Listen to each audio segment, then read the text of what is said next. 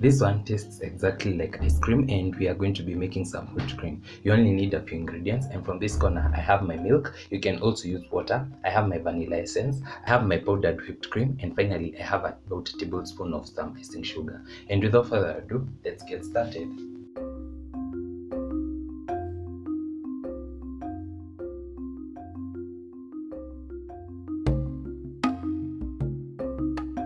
So I'll start by adding equal amounts of icing sugar and some cold milk. Ensure that your milk is cold. I'll also go in with about a tablespoon of some icing sugar.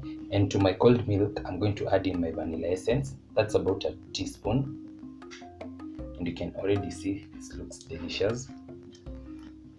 Then I'm going to whip this for about two to three minutes and our whipped cream should be ready.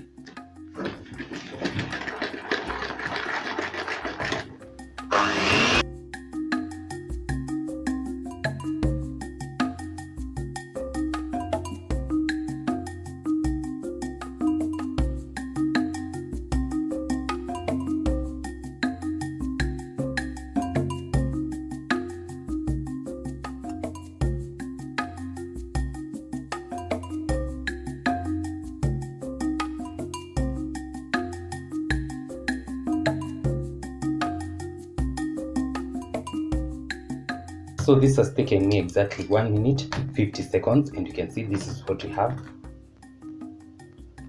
Mm. Mm. And this actually tastes amazing. So I'm going to set this aside because I'm not working on this immediately. And I'll see you in tomorrow's episode where you get to cross the cake.